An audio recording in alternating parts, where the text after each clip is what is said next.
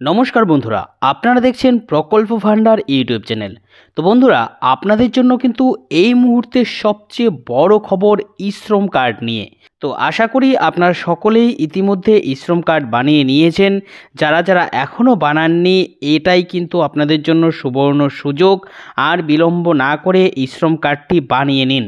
আগামী মাস থেকেই কিন্তু ইশ্রম কার্ডের মাধ্যমে আপনারা এই সুবিধা পেতে চলেছেন।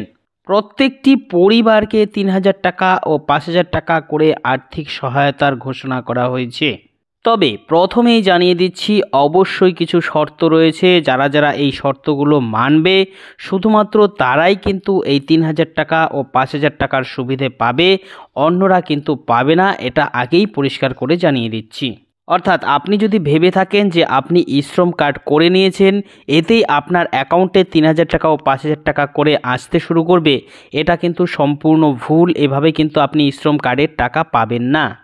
তাই এই তিন হাজার টাকা ও পাঁচ হাজার টাকার সুবিধে পেতে হলে আপনাদের নির্দিষ্ট কিছু কাজ করতে হবে।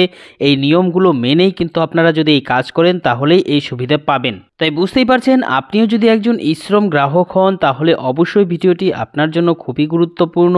ভিডিওটি আপনারা প্রথম থেকে শেষ পর্যন্ত খুব মনোযোগ সহকারে দেখুন, কারণ এই ভিডিওর মধ্যে আমি বিস্তারিতভাবে জানিয়ে দেব ঠিক কারা কারা এই সুবিধে পাবে কারা কারা এই তিন হাজার টাকা ও পাঁচ হাজার টাকার সুবিধে পাবে না, এই টাকা পেতে হলে আপনাদের কি করতে হবে? সমস্তটাই আপনারা স্টেপ বাই স্টেপ এখানে জানতে পারবেন।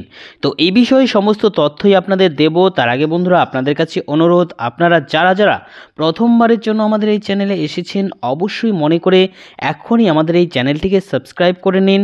কারণ এরকমই গুরুত্বপূর্ণ ভিডিওর আপডেট প্রতিনিয়তই আমরা আপনাদের জন্য নিয়ে আসি।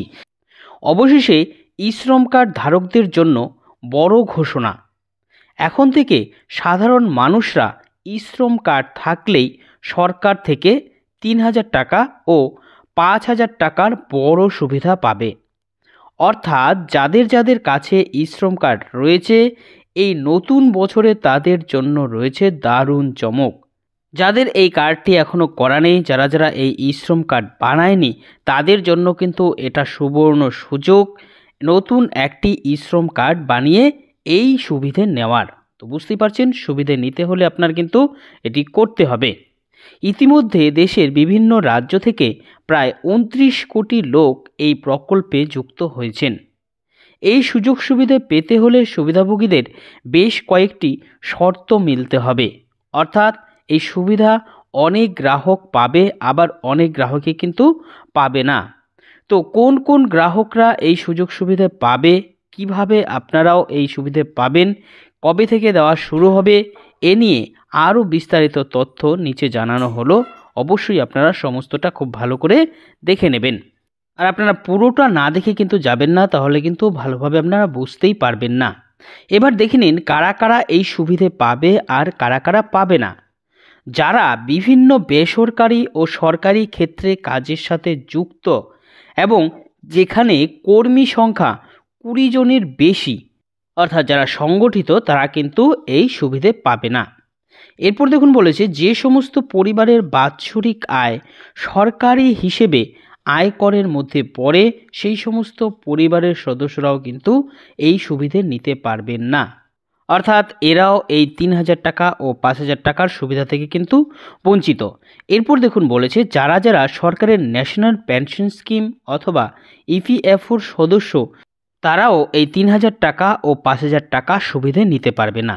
তো বন্ধুরা, বুঝতে পারলেন কারা কারা পাবে না? এবার আমরা জানব ঠিক কারা কারা নিতে পারবে।